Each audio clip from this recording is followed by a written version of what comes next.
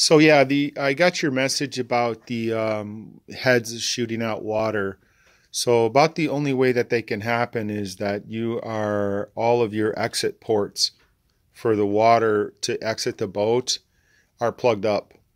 So um, if the head is blowing water right here at this point where this gasket is, um, it's because you you're overpressuring the system, and uh, so these bolts on the outside that go around the outside are the ones that take the head off. That one, that one, that one, that one, that one, that one. The little ones in the center, they don't have anything to do with taking the head off. So don't remove these little ones here. Those ones are just for this head cover thing. Uh, so this secondary head cover thing. So you don't want to mess with those. I'm not telling you to take the head off, by the way, right now. What I want you to do first is just check the exit ports. Now, this is the back of the engine. This hose right here will connect and go to a, a box that sits right here. Let me go show you a uh, part of that. So here's the water water box I'm talking about. So that fitting right there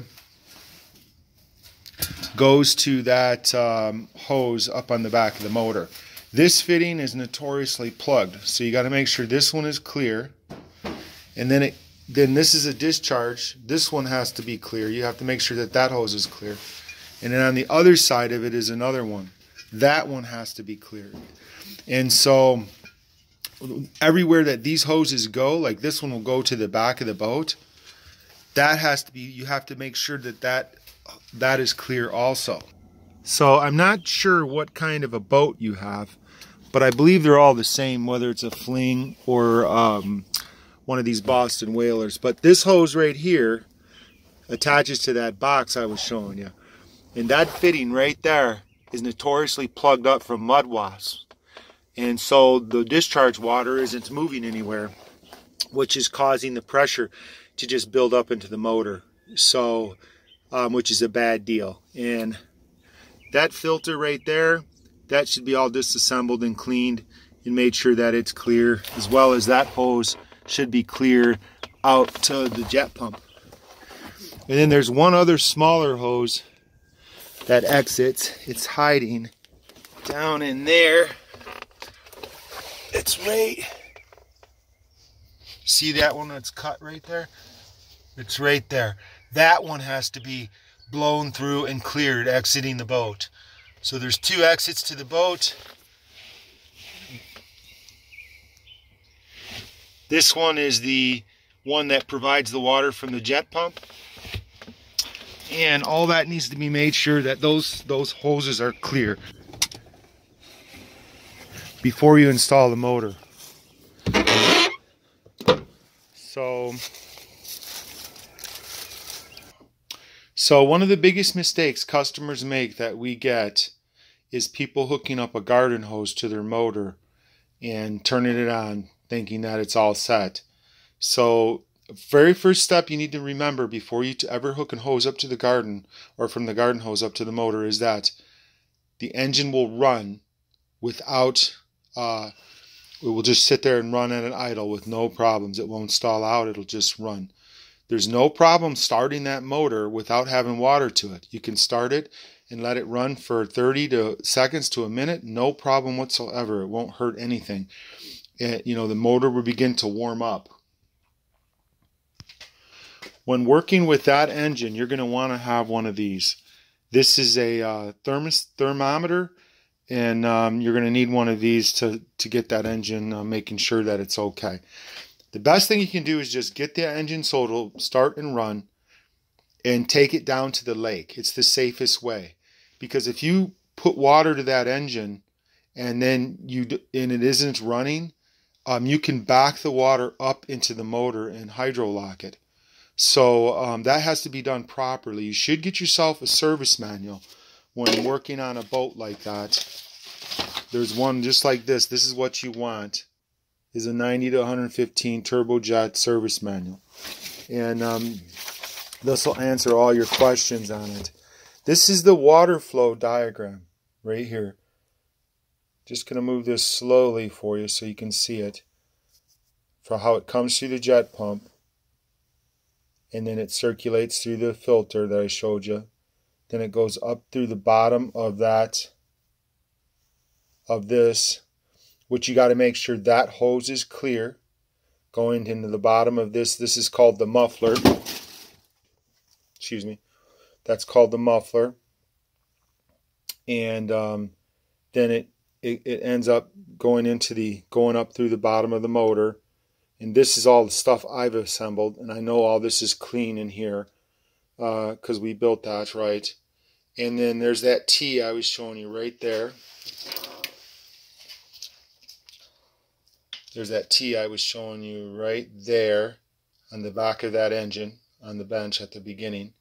And it goes it goes to that fitting up on the top of that that thing. That is notoriously plugged, then this is the then the water goes down in there. And then after it's in the muffler it it discharges it goes this way back into this unit here which I showed you back into that base thing that all has to be all these fittings and hoses you have to you have to manually blow through them with a blowgun and, and be sure that they're flowing air through them and that they're clear and then this is the exit one that goes out the back of the boat. That one is is almost assuredly plugged. And uh, uh, normally, what we do is we take this hose off, we find where that discharge is on the back of the boat, and we'll put a. Usually, we have to put like a rod through it, or a, uh, like a big heavy wire because it's so packed full of mud wasps. And we do that obviously before we put the boat in. And here's the discharge also from that pan that bottom muffler tray or bed plate, you could call it, discharging through here and through that little hose I just showed you on the back of that boat. That one also will be uh, plugged. This one is probably plugged. And uh, what's going on is that with, with what you have happening is just that um, you, you, you just were unaware of what to do there. Anyway, so here is, this is a 20 PSI system and you're putting, you know, the pressure of, you know, your house water to it, which can exceed 50 psi, you know, it can be 50, 60, 70 psi at your house. So um, as you can see, it says, uh, you know, as the water comes in, it goes it goes to the motor going this way. This is this is right. This is showing it from the jet pump. Right in there is a pressure relief valve but it doesn't work if you hook a garden hose to it. You're bypassing that. So um, you got to be aware of that when you start putting water to an engine. And so when it when it goes above 50 psi, the water is going to exit right here, the jet pump, so it doesn't build up pressure into the motor because the motor can't handle it. So uh, I think that it's a possibility that it'll seal up right. It'll still be all right, but it might be a chance that the heads are because we seal the head gaskets onto the motor, and it they they may drip a little bit on the sides, like right here on the very side of the heads, um, uh, when you're running it in the lake now. Uh, it really probably won't make any difference.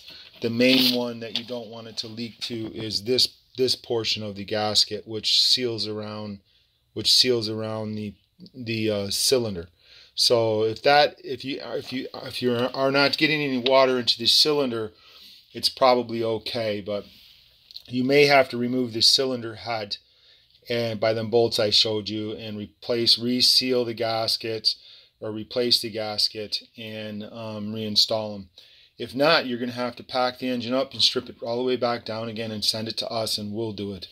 Uh, but uh, you know, basically, um, that engine was tight when we sent it to you, and um, you know, we've just never, we just haven't experienced this particular problem you're having, and I'm almost 100% sure it's because all you have a lot of plugged fittings and none of the water's exiting the boat. So um, best just don't put any more hose to it. Just get the engine so it'll run and take it down to the lake and run it because th- these engines notoriously run hot if anything's plugged up on them. And so if there's a, there's something plugged up on it and it isn't flowing water right, the engine will sound an alarm and um, tell you that it's overheating. And with one of these, you can check the temperature of the engine as you're running it. You want it. You really don't want the engine to reach over uh, 200 degrees. It should be, uh, you know, 180 to 200 degrees, or around 180 is basically the operating temperature. When it starts getting around 200 and 210, it'll it'll throw it'll say it's overheating and the buzzer will go off on you. At that point, you need to shut off the engine, let it cool down a little bit, and then go back over to the dock, you know, um, slowly. And um, but if you just back the trailer up, if you just back the trailer up to the boat, or I, I mean, leave the trailer, leave the boat on the trailer, I should say, and um, have it strapped down. The drain plugs are in it. Just back it in the water. Start it up right there, and just let it idle right there. And you can you can rev it up a little bit right there and see if uh, the engine starts overheating on you know give it about five minutes or so. If it isn't overheating there then you can take it out into the lake and give it a try.